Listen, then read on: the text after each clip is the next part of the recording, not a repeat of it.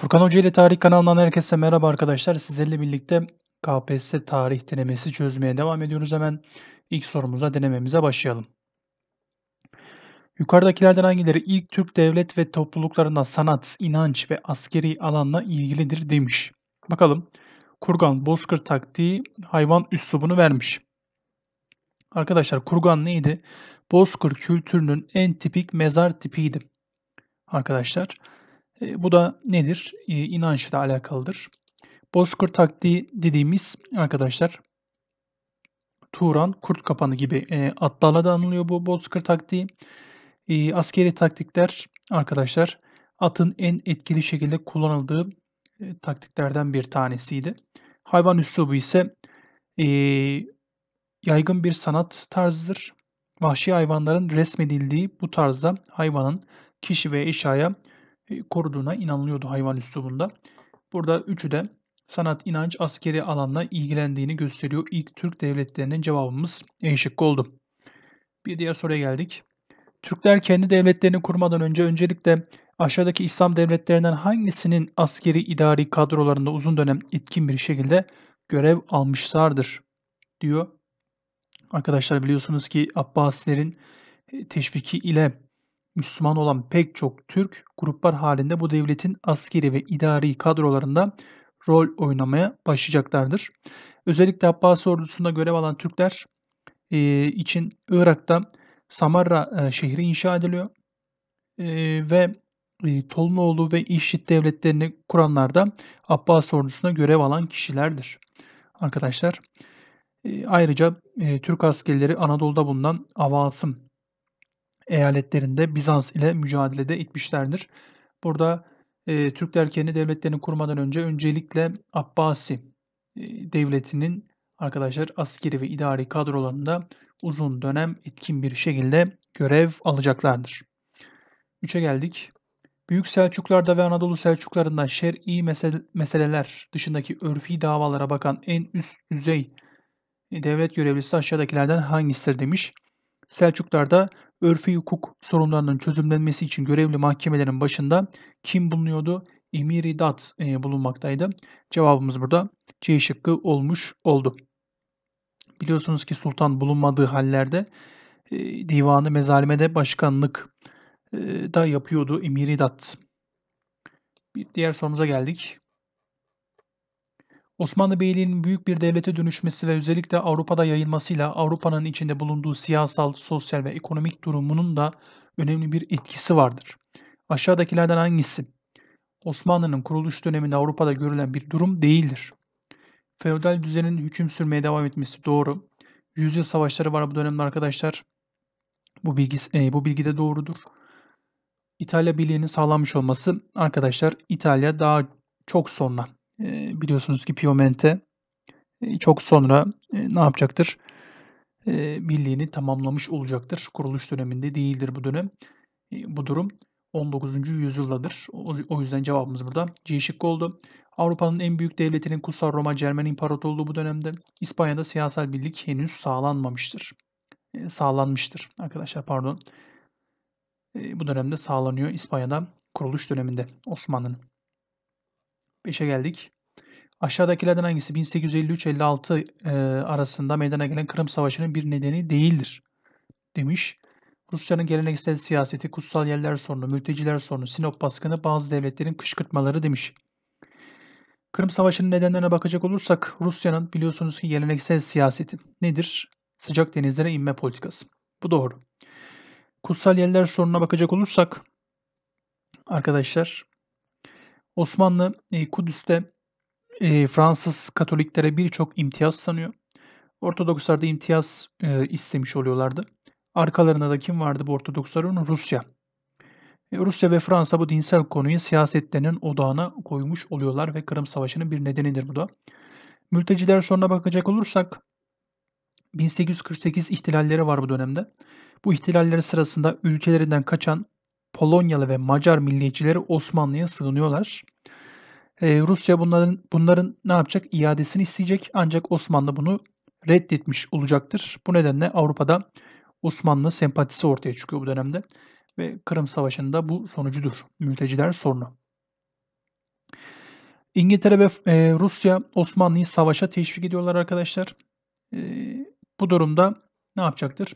Kırım Savaşı'na neden olacaktır. Yani bazı devletler kışkırtıyor.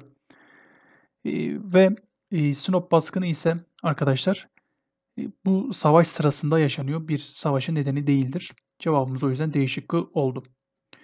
Bir diğer sorumuza geldik. Aşağıdaki divanlardan hangisi elçi kabulü ve ulufe dağıtımı sırasında toplanırdı demiş. Ulufe dağıtımı sırasında biliyorsunuz ki Topkapı Sarayı'nda divan toplanması ve elçilerin bu divana katılması ilginç kabul ediliyor. E, bu arkadaşlar elçi kabulü ve ulufe dağıtımı sırasında biliyorsunuz ki galebe divanı toplanmaktaydı. Burada cevabımız C şıkkı olmuş oldu. 7'ye geldik. Osmanlı Devleti'nde sancağa vali olarak çıkan şehzadeler yetkilerden hangilerini kullanabilirlerdi demiş. Divan topla, toplayabilirler, asker yetiştirebilirler ancak adına kesinlikle para bastıramazlar, hutbe okutamazlar, anlaşma yapamazlar arkadaşlar. Bu şehzadeler ancak divan toplayabilirler, asker yetiştirebilirler. Cevabımız burada B oldu. Bir diğer soruya geldik. Osmanlı Devleti'nde kadılar medrese mezunlarının arasından seçilir ve sınavla göreve atanırlardı. 19. yüzyılda ise yeni bir anlayışla kadı yetiştirmek üzere aşağıdakilerden hangisi açılmıştır?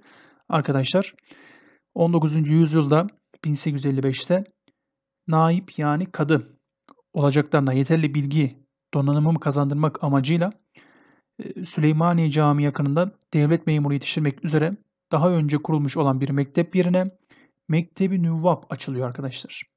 Mektebi Nüvvap 19. yüzyılda kadı yetiştirmek üzere açılan bir okuldur. Cevabımız ne oldu? A şıkkı oldu.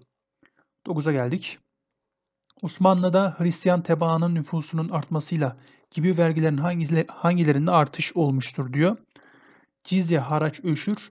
Arkadaşlar cizye ve haraç e, Hristiyanlardan alınıyor, öşür Müslümanlardan alınıyor. Cevabımız burada değişik oldu.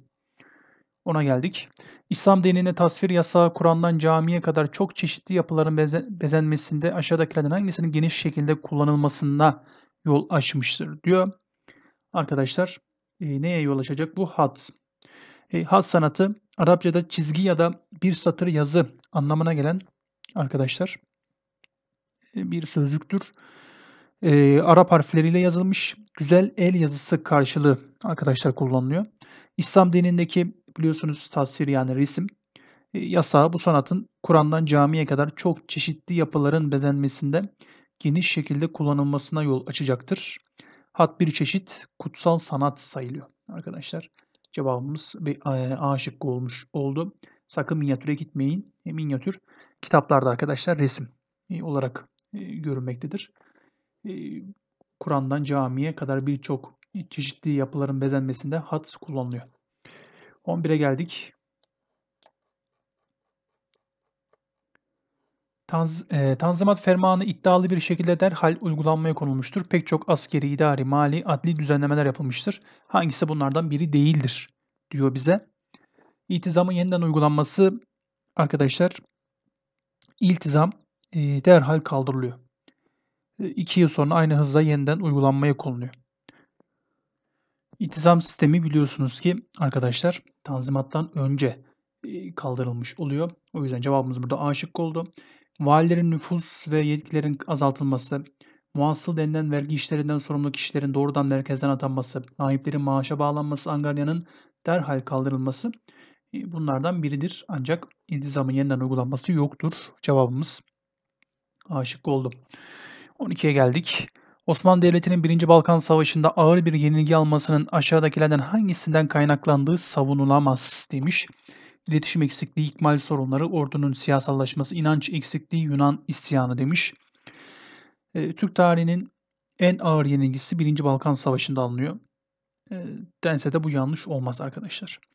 E, silah ve teçhizat bakımından düşmandan eksikliği bulunmayan ordu neden bütün savaşları kaybediyor burada? Bunu sormak lazım.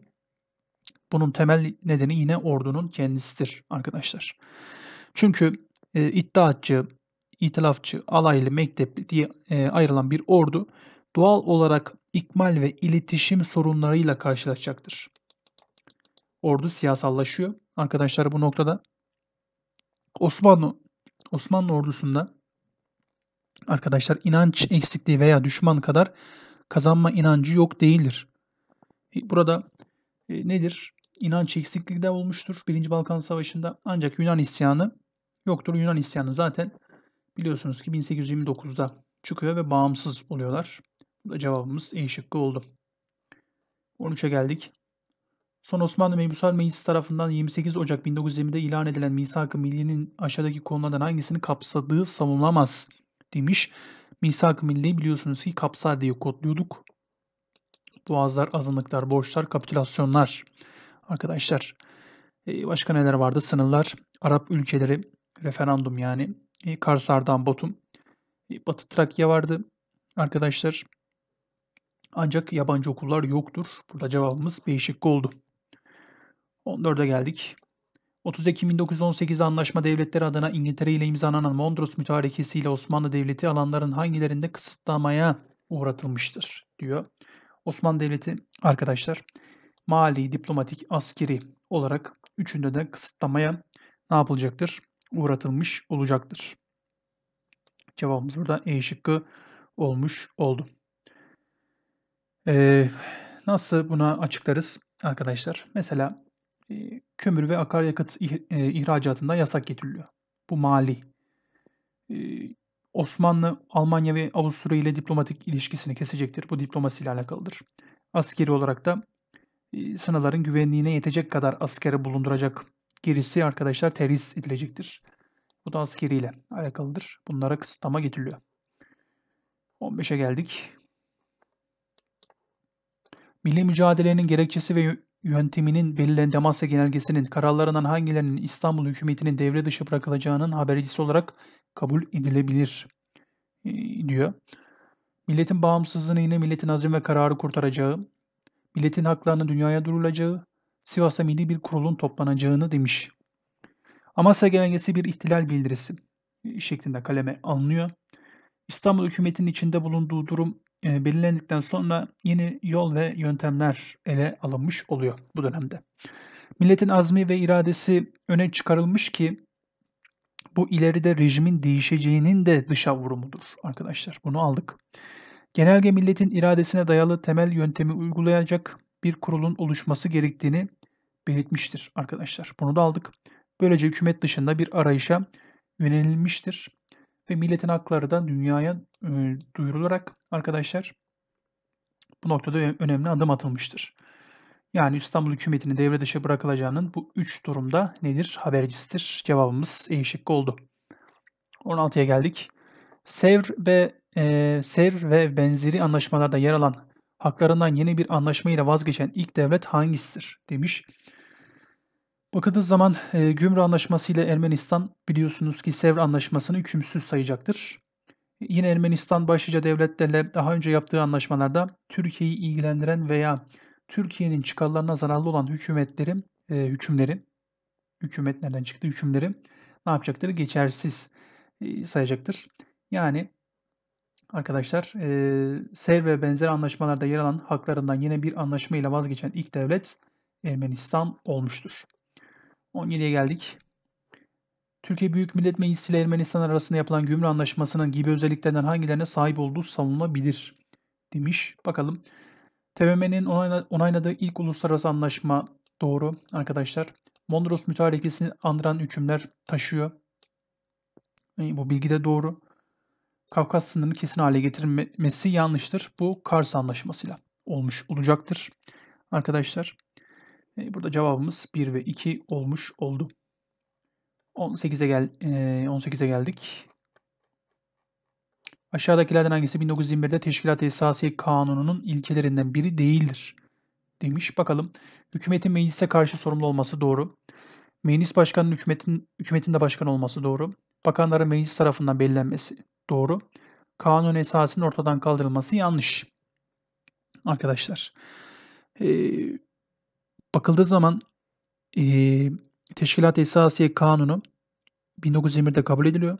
Kısa tutulan bu anayasa Osmanlı Anayasası olan Kanunu Esasi ortadan kaldırmamıştır.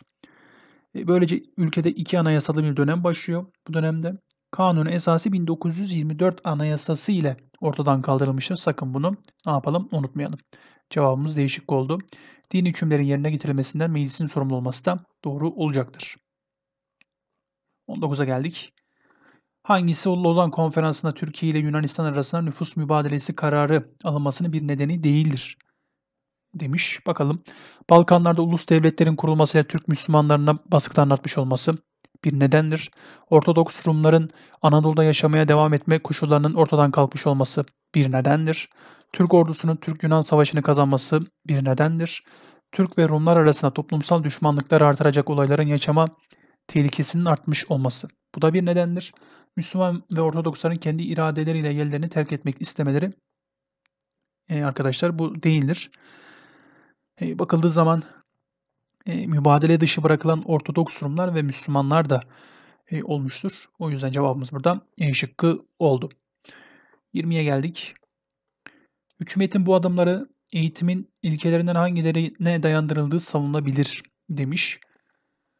Türkiye Cumhuriyet hükümeti yabancı okulların yürütebilecekleri dinsel esasa dayalı eğitim faaliyetlerinin önüne geçmeye ve Türkçenin zorunlu ders olarak Türk öğretmenler tarafından okutulmasına özel önem vermiştir diyor.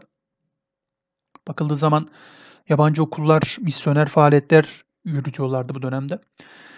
Bunlar ne milli idi ne laikti arkadaşlar. Ayrıca kullandıkları belgelerde dini semboller kullanmaktaydılar. Özellikle milli mücadele sırasında meydana gelen bir olay hükümeti oldukça kararlı davranmaya itiyor. Burada Merzifon Amerikan Koleji'nde bir Türk öğrenci Pontusçular tarafından katlediliyor. Bu okulların nasıl bir niyette kurulduğu da arkadaşlar bunu gösteriyor. Ve bu durum Türk hükümetinin kararlılığında kamçılamış oluyor.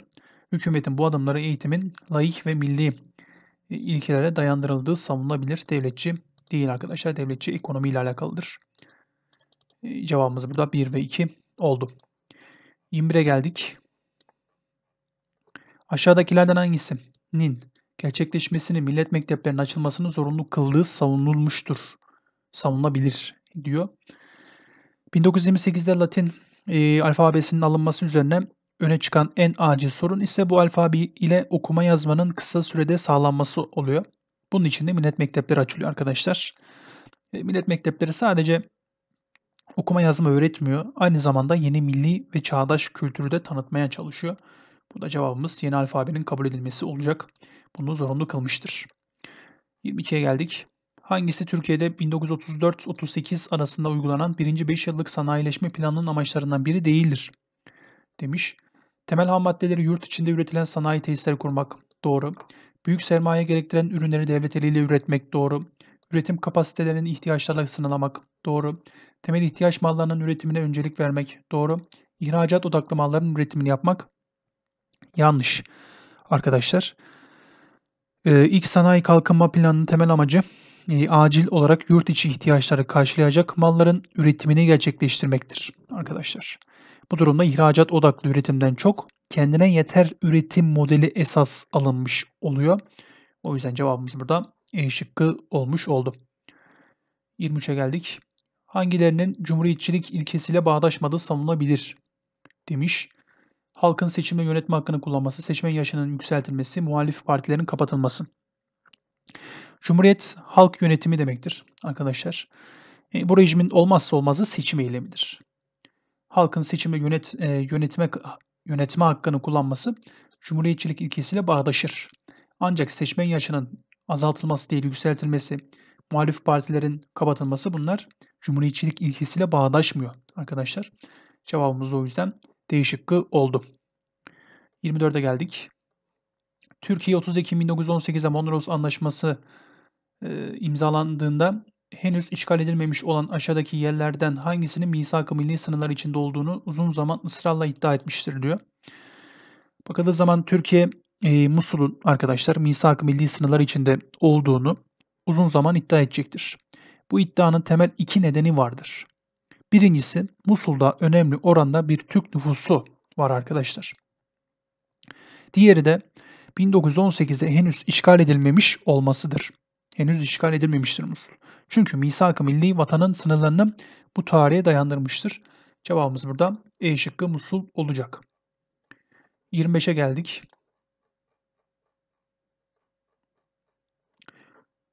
Sovyet Rusya'nın asimileci politikalarına karşı Türkistan'da ortaya çıkan hareket arkadaşlar neydi bu hareketimiz? Basmacı hareketiydi.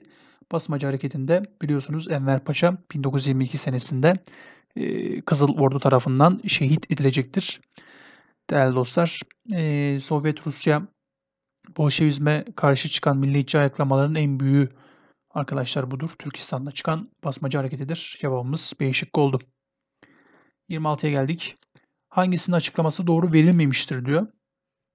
Sento Orta Doğu Güvenlik Teşkilatı değildir. Bağdat Paktı yerine kurulmuştur. Merkezi Anlaşmanı, Anlaşma Teşkilatı'nın kısa adıdır. Bu paktın kurulma nedeni Irak'ta askeri darbe ile krallığın sona ermesidir. Bunun üzerine Bağdat Paktı'nın adı Sento olarak değişiyor ve merkezde Ankara'ya alınmış oluyor. Arkadaşlar Türk soy, Türk kültür ve sanatları ortak yönetimi de doğrudur. Comecon, Doğu Bloğu'nun ekonomik dayanışma örgütü. APEC, Asya Pasifik Ekonomik İşbirliği doğru. NAFTA da Kuzey Amerika Serbest Ticaret Anlaşması'dır. Bu da doğrudur.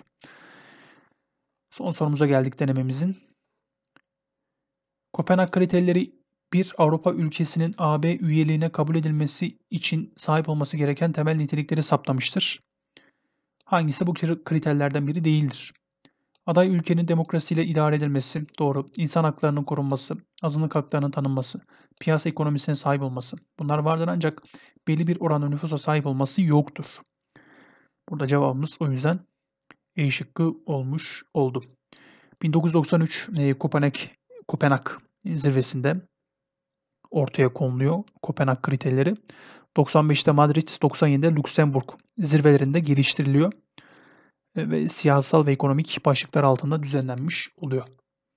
Ve bu kriterler bir e, Avrupa ülkesinin AB üyeliğine kabul edilmesi için sahip olması gereken temel nitelikleri de kaptam, e, kapsamış oluyor. Bu sorumuzla birlikte denememizin sonuna geldik arkadaşlar. Umarım sizler için faydalı olmuştur. Bir sonraki denemelerimizde görüşmek ümidiyle hepiniz sağlıcakla kalın. Allah'a emanet olun.